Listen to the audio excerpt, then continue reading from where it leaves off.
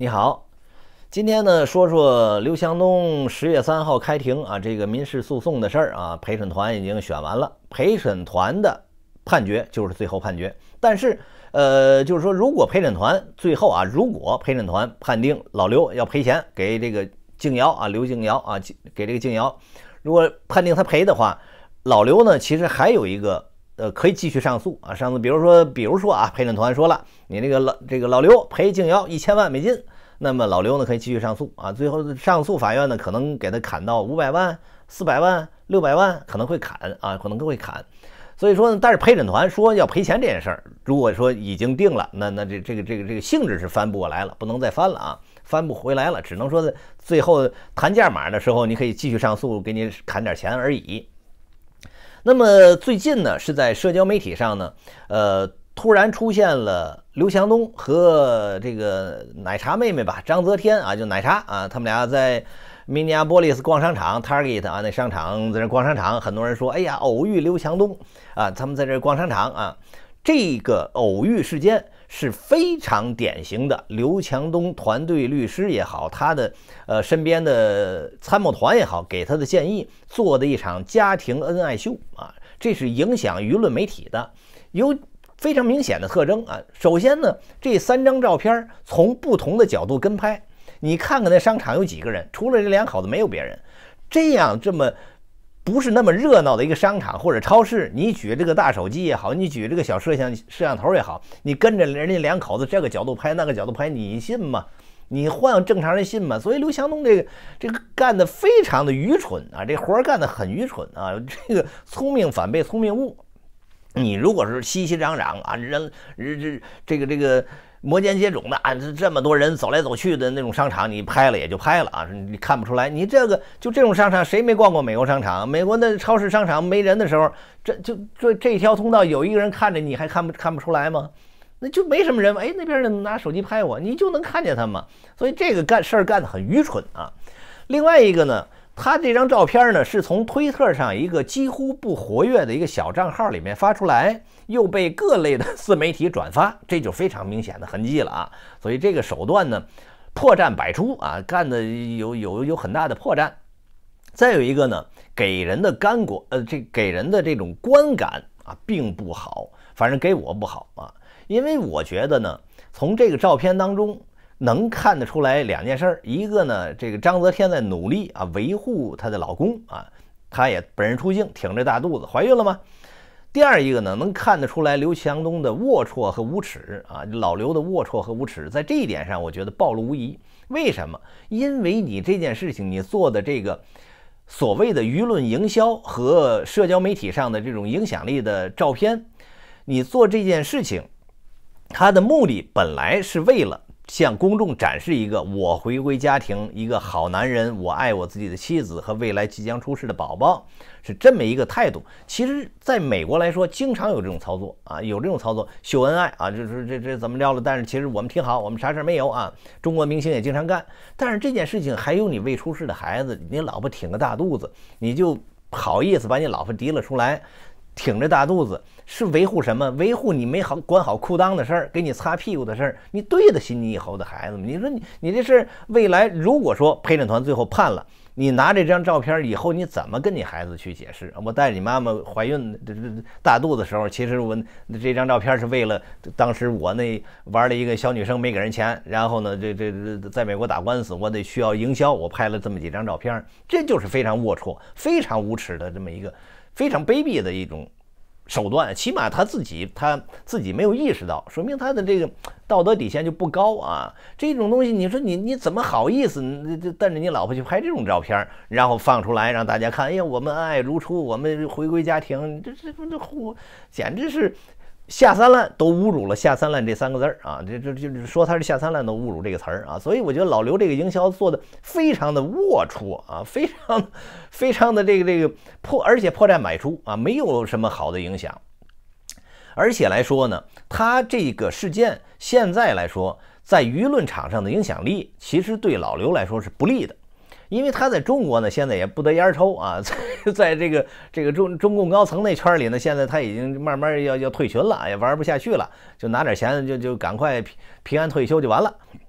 那么在美国呢，他也没有什么影响力啊，也没什么影响力。呃，这个案件美国人关心的不多，但是这个案件当中支持静瑶的美国的同学也好，华裔留学生也好，华裔的 A B C 也好，有很多人啊，或者 Me Too 行动的这些人也好，讲英语也讲英语的这些普通的网民民间的力量，要比老刘可调动的力量要大。老刘呢，在中国的社交媒体上，你比如说小红书啊、微博、微信呢，这这才行啊。这这，凡是在网信办这个这个这这大框里装的东西啊，在这房墙里头东西，他他都玩得转，墙外头他没戏，他绝对没戏啊。所以墙外头真正的普遍民意来说，其实对静瑶是有好处的啊。那么这张照片先说完啊。那么现在这个案件呢，有几个特征啊？有几个特征呢？第一个呢？呃，咱先说这个对老刘啊，老刘有利和不利的啊。有利的呢，在技术上，他动用了一个天价律师团啊，这不用我多说，网上有的是这消息啊。找了什么这个律师所、那个律师所，一大堆律师律师团啊，上全上啊，最最高的钱出啊。这个重赏之之下必有勇夫啊，给我干，这是有利的。第二个有利的呢，就是。老刘和刘强东这个团队呢，他们毕竟有多年经营管理企业、调动团队、调动各种资源的能力啊，组合完成一个大单、完成一个大 case，这是他们的强项。所以这个案件啊，这个这个审判，面对这个审判。他们比较熟练去操作，你负责哪块儿，他负责哪块儿，他一定会把这个他们不利的东西围得铜墙铁壁啊，滴水不漏。所以这个是他的强项啊，他毕竟有这个企业经管理的经验啊，这个从技术上他能够做到，可能会有点完美无缺，你可以说完美无缺吧，除非就就是，但是他的证据上也有硬伤啊。那么不利的，就是这个背件背景事件事件的背景。对老刘很不利，因为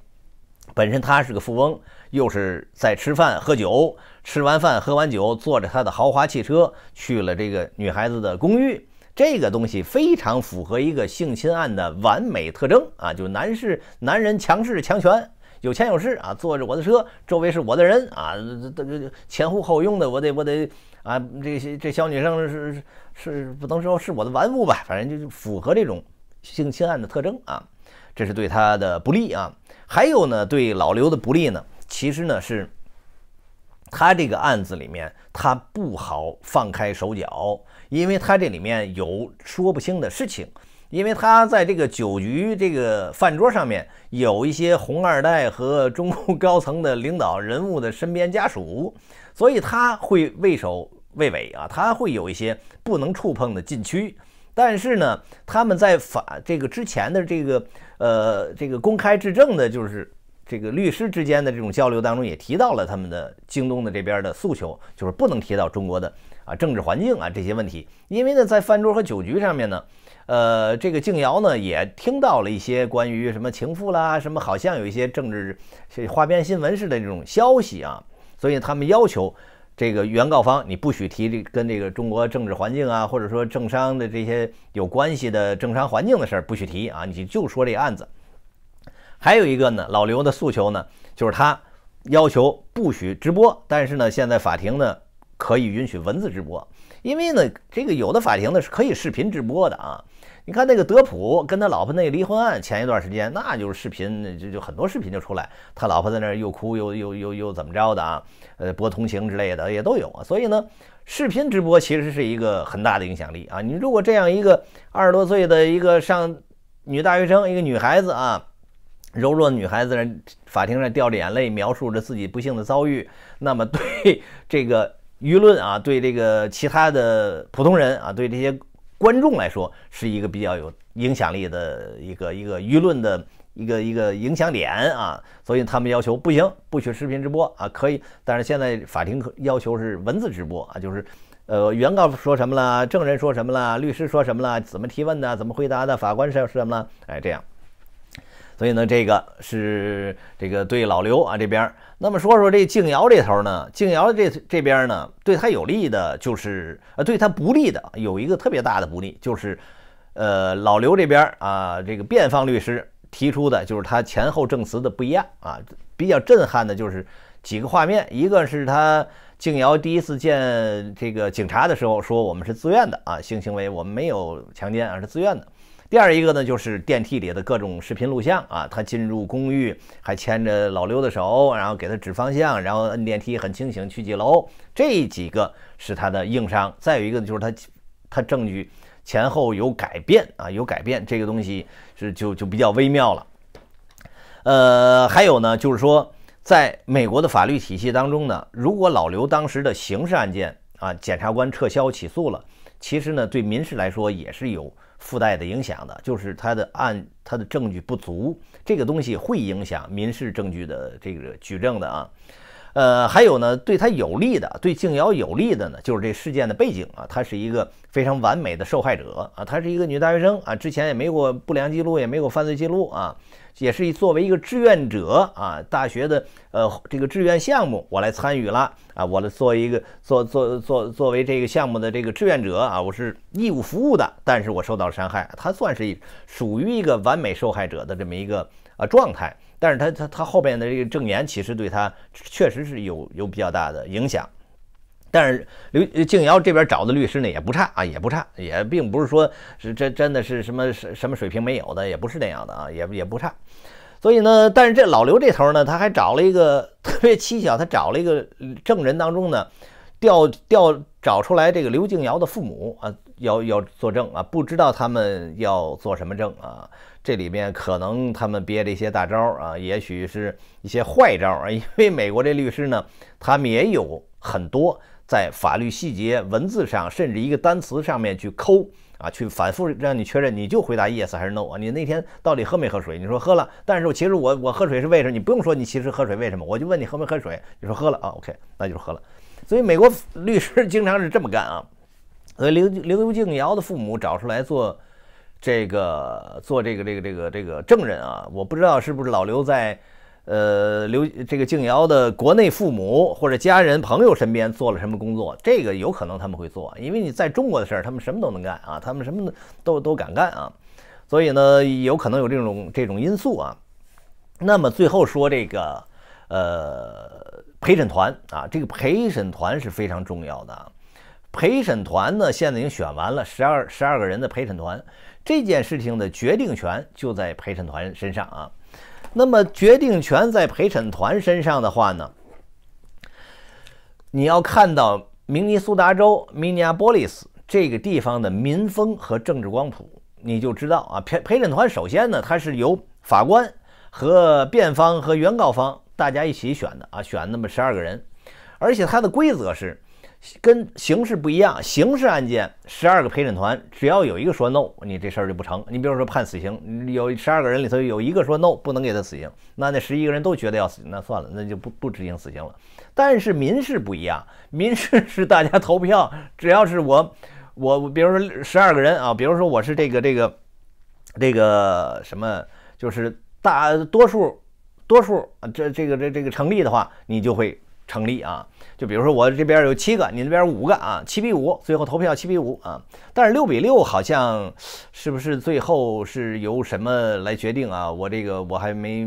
我我我我想不起来了啊，是不是有法官啊？不知道啊。六比六的情况，他因为他呢是每一个每一个诉讼。都要求陪审团去投去投票啊，去决定。比如说他诉讼这个，他他他他他他分了六七条诉讼啊，他这个对我不是学法律的啊，他需要法律专家来说啊。我只是一个，我说如果我是陪审团的话，我会怎么投票啊？我看到这些证据的话，我会怎么投怎么投票的啊？那么我最后再说那一件事儿啊，我先说他这陪审团，而且陪审团，你想，明尼阿波利斯他这个地方啊，去呃，二零二零年出过一个大事儿啊，一个大事儿呢就是弗洛伊德，弗洛伊德惊动全美，甚至全世界都掀起这个 BLM 啊黑命贵运动啊，全世界的都都都都有都有影响。这个 BLM 的起源就是明尼阿波利斯，这个地方是民主党长期主导、占大多数民意的这么一个政治光谱的州。明尼阿波利斯就是，呃，弗洛伊德那就是一个黑人啊，然后那个警官叫 Shelvin 啊，那白人警官压在他脖子上，最后窒息而死，到到到到到这个警察局就死了啊，那件事情闹得全美沸沸扬，最后当地还是市政厅赔了一点三亿美元啊，是拿市市财政来赔的。赔了一点三个亿。所以你要知道那个地方政治正确有多么流行，所以你这个案件落在那个州，不一定是好事儿啊。对老刘来说不一定是好事儿啊。你如果说东西海岸，呃，什么经济发达州这种事儿多了啊，那陪审团那那是。因为陪审团是什么？就是普通人，他可能就是一个超市的售货员。这十二个人里面，可能有超市售货员呢，有幼儿园老师啊，有医院的护士啊，有卡车司机呀，啊，有这个农民呢，啊有这个这个这个呃，这个这个这个导游啊，对吧？就干什么的都有啊。他的教育背景、种族、肤色都不同。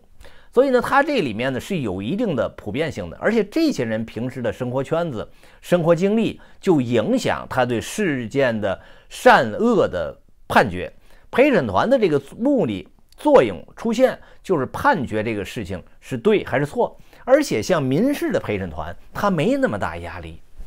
而且判这种案子，我我就觉得这有钱人得出点钱，那你就给他出点钱就行了。我可能就从这角度觉得，那这女孩子，你看。这这这这跟那个被被他强奸了也好，或者说他们的资源也好，那这现在这女孩子弄得神神叨叨的，还精神受创伤了，心里有有有创伤了，又转学了，这学校上不了了，跑到别的州去了，受到伤害了。我就觉得你有这么多，你有一百多亿的身家，你怎么不能拿个一百万美金赔给人家？我就同意赔，对不对？你这这在那个州就他就陪审团就没那么大心理压力，他不会有那么大的精神负担。所以陪审团，我觉得会手比较松啊，就是同情弱者的这个心态会多一些。所以我觉得在这个州的话呢，陪审团最后很有可能啊，就支持这个原告的诉讼啊请求。现在说呢是五万美元，这个五万美元呢只是他的一个诉讼门槛儿，他还有很多呢。呃，需要精神赔偿的，其他的这个损伤害赔偿的那些东西不在这里头，那些东西可以几百万甚至上千万。我之前有视频，我说最后呢可能会千万赔偿，我现在还坚持这个观点，我觉得也有还有可能会是千万赔偿，因为他现在还带着这个他呃静瑶这团队呢告的是两个主体，一个是刘强东啊，一个是京东公司，因为这件事情京东公司有连带责任啊，他是京东公司。的是一场商务活动啊，你公司没有尽到保护当事人的责任，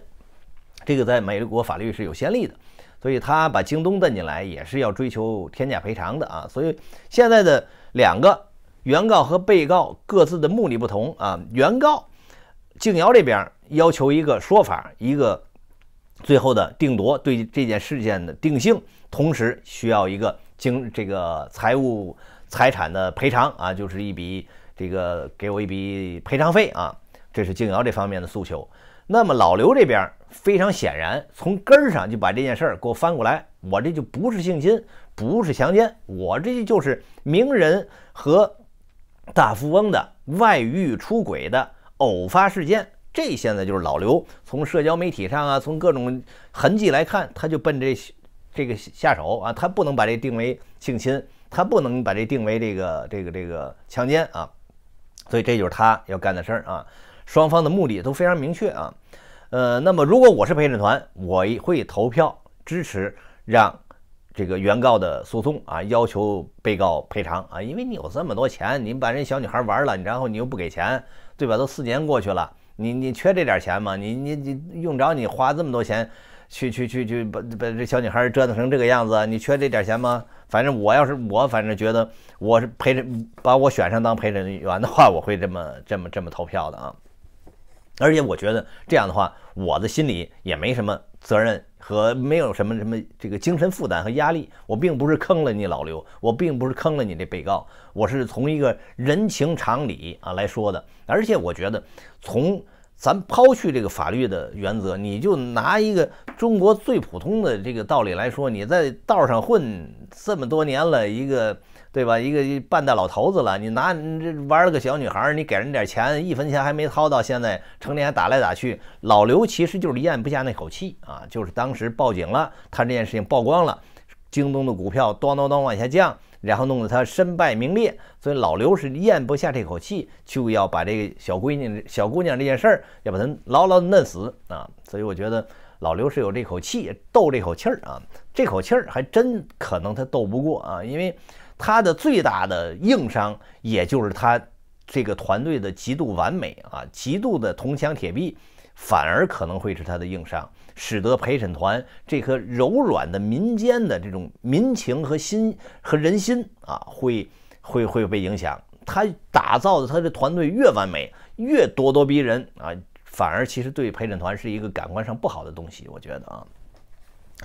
呃，那么最有一最后呢，有一个信号啊，大家可以看这个案情的发展，有一个信号就是什么呢？京东股票的变动啊，从十月三号下周一，你就看京东股票，如果某一天一周之内某一天咚咚咚咚咚有变化了，那可能这案子马上差不多要判了，差不多啊，因为华尔街这帮人，这这这他们的消息多极了，他们的眼线多了，他们拿能拿到最快的一手资料啊，所以那些京东的股票的。波动啊，会有因，当然，当然现在啊，老刘现在已经跟京东剥离的差不多了。当然有各方面原因啊，政治原因当然是主要的。然后他这个屁股不干净，也是他赶快跟京东撇清的原因之一啊。因为你这个事儿，当年出现这个事儿的时候，京东股票就掉了多少钱啊？所以这老刘啊，还是裤裆没管好，而且你这个，我就最觉得为什么我其实我都不想说这件这事儿了啊，因为我以前说过这刘强东天价赔偿这事儿，我觉得没啥可说的。但是我一看他那个社交媒体上把他老婆瞪出来啊，挺着大肚子，然后三个角度不同的照片，还打造家庭完美回归家庭的什么真爱的这什么这，我觉得非常的龌龊啊，这种营销行为非常龌龊啊，你对得起你未来的孩子吗？你跟那那那肚子里孩子，我看那个奶茶那肚子啊，我。大概大概率是个女孩啊，大概率还是个女孩的第一胎是女孩，第二胎应该还是女孩。看那肚子那个形态啊，就他这个营销，你这这这你自己你裤裆没管好，你屁股没擦干净，你把你还把这个未来未出世孩子照片拿出来啊，这这东西真的令非常不耻啊！这这这种这种人，好吧，今天聊到这儿。